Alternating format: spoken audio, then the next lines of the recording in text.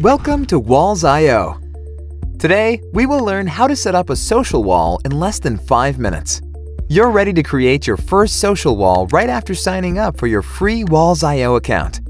Just give your wall a name and start adding sources to it.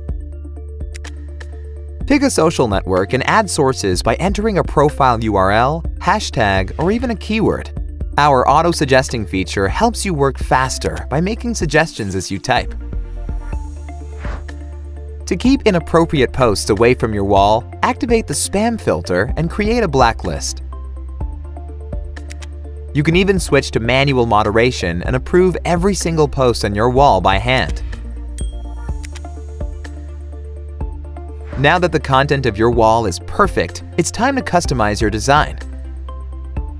Walls.io offers several themes. Some themes are great for smaller devices, others really shine on a big screen. You can also customize the color scheme and change the background of your wall. Customize the header with your logo to show people who you are. Once your social wall is set up, it's time to embed it on your website. Head to the Embed and Display tab on your Walls.io dashboard and copy the embed code.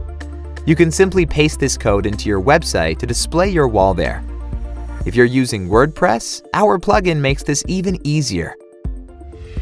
And, of course, you can also show off your social wall by going into any browser and entering your wall's unique URL. Don't forget to send us some great photos of your social wall in action. The most interesting projects make it to our blog in the Showcase section.